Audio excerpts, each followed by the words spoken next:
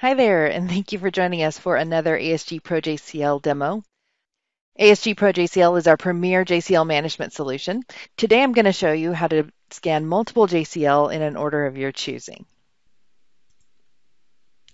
Our demo today is in ZOS Explorer, which is the foundation on which IBM IDz is laid. Our plugin is compatible with IBM IDz, BMC Compuware Topaz Workbench, and with a vanilla Eclipse plugin. Now, to scan multiple JCL, you need to use the ASG's ZOS Navigator. This is our connection to the ZOS system, and it enables you to browse into the right members and choose what you want to scan with. The buttons at the top of this tab enable you to do different functions. So first, to do a dynamic scan of selected members, just pick them from the list using the control function. All right, I've made a selection, so now let's use the first button to validate that dynamic list.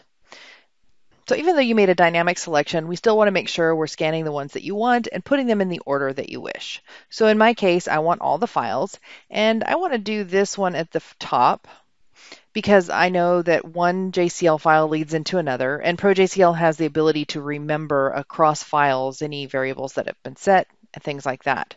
So I can order these however I need.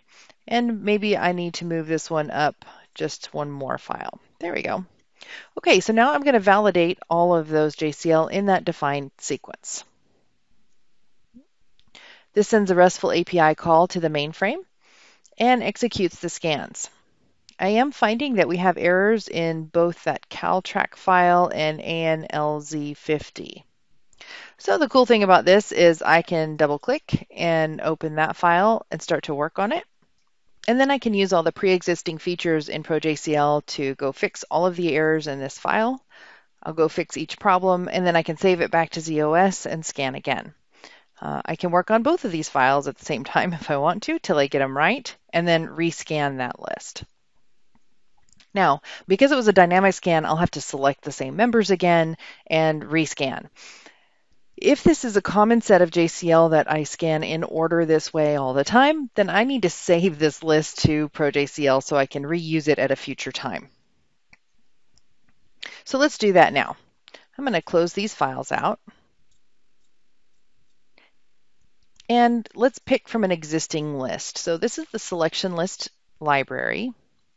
And I do need to log in.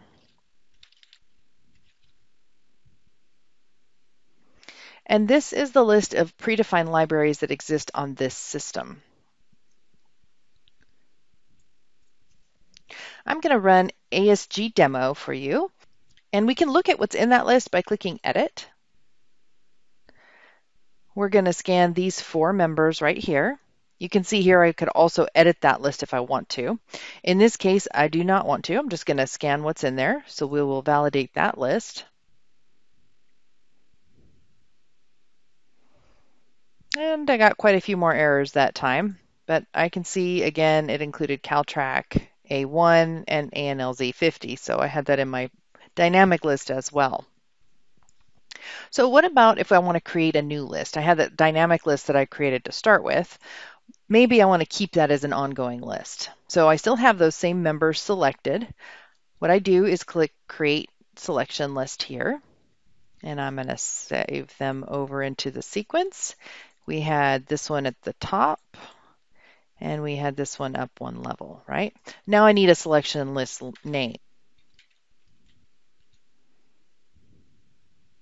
I can put in a description. In this case, I'm going to skip that step and save. So now I can reuse that list anytime I want. If I click the selection list directory again, we will see that demo 2 has been created and I can validate that list again. We should get the exact same errors that we got before when we did the uh, dynamic validation. So there we go. That is how you scan multiple members and be able to rescan over and over using the same list when you're working with that set of members. Thanks for joining us today.